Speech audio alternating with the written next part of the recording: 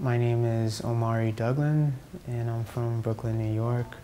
I was freestyling these paintings for a while, but it was like not working out. I was like kept messing up. It was like, you know, I need to do this like the right way and plan it out a little bit. I think it's high stakes. Like, you know, I start with like a white, a white ground, and I usually look at a drawing or a sketch first, and then I go off of the drawing.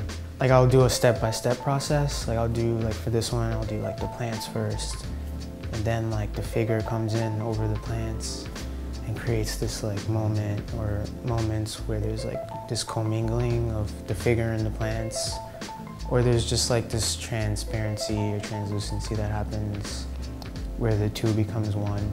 I don't even like to call them paintings anymore because I just feel like they operate in the space between drawing and painting, but it's not really one or the other. It's something in between. I haven't been here for that long, but I've, I've gotten like a lot of work done since I've been here. Some good energy down here. Definitely where I need to be right now in my life, I think.